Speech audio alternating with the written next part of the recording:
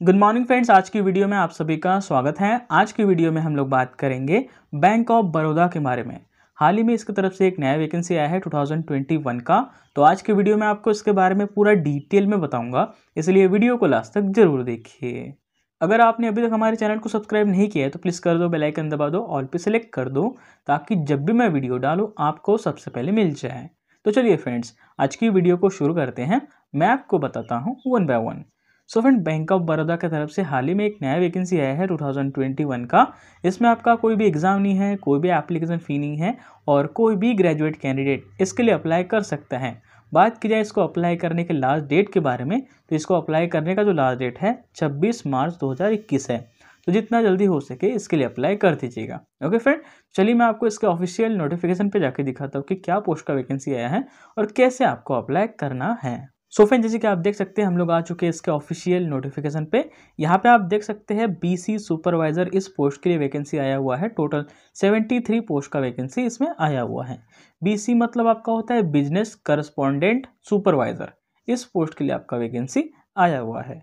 Important dates की बात की जाए तो इसका रजिस्ट्रेशन चालू हो रहा है 24 फरवरी 2021 से। इसको अप्लाई करने का जो लास्ट डेट है 26 मार्च 2021 है। तो जितना जल्दी हो सके इसके लिए अप्लाई कर दीजिएगा।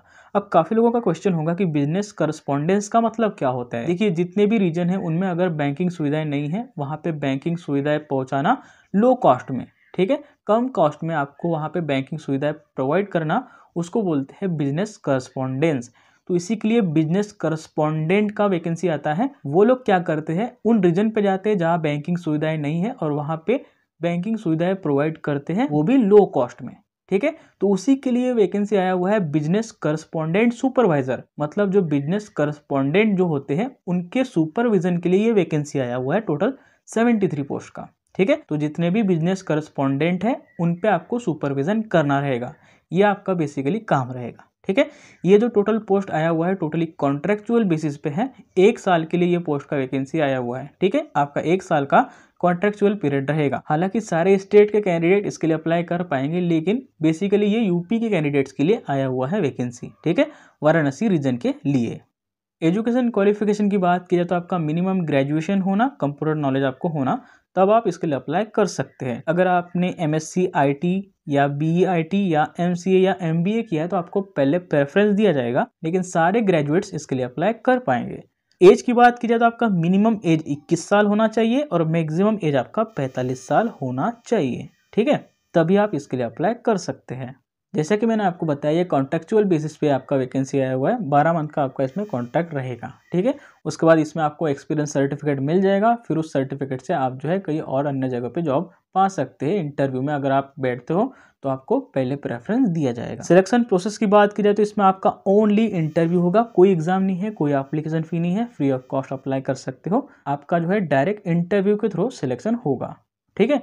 जितने भी लोग अप्लाई करेंगे, उनमें शॉर्ट लिस्टेड किया जाएगा। शॉर्ट लिस्टेड कैंडिडेट को इंटरव्यू के लिए बुलाया जाएगा। ठीक है? इंटरव्यू क्रैक करने के बाद यहाँ पे आपको सक्सेसफुली जॉब मिल जाएगी। रोल्स और रिस्पॉन्सिबिलिटीज़ आपके क्या क्या काम रहेंगे? सारी चीज़ें यहाँ पे दी हुई है, डिटेल में आप पढ़ सकते हैं। बेसिक जानकारी मैंने आपको स्टार्टिंग में ही दिया है कि आपका काम क्या होगा, आपका काम सुपरविजन का होगा और बाकी जो काम यहाँ पे दिए गए हैं, यहाँ पे आप डिटेल में पढ़ सकते हैं।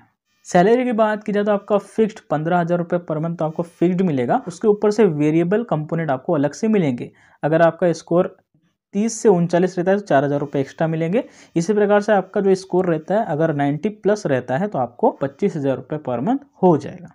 ठीक है? इस तरीके से यहाँ पे आप देख सकते हैं। अप्लाई करने के लिए सिंपल से आपको ऑफलाइन अप्लाई करना पड़ेगा। यहाँ पे आप देख सकते हैं, ये फॉर्म का लिंक आपको डिस्क्रिप्शन बॉक्स में डाउनलोड करना है। उसको जो है अच्छे से फिल करना है और इस एड्रेस पे आपको सेंड कर देना है। यहाँ पे आप देख सकते हैं, इस एड्रेस पे आपको सेंड कर देना है। तो अगर आप यूपी के हो तो ज़रूर से इसके लिए अप्लाई करेगा ठीक है? बाकी सारे स्टेट के कैंडिडेट अप्लाई तो कर सकते हैं, लेकिन प्रेफरेंस यूपी वाले को दिया जाएगा। आई होप आपको सारी चीज़ें समझ में ही होगी।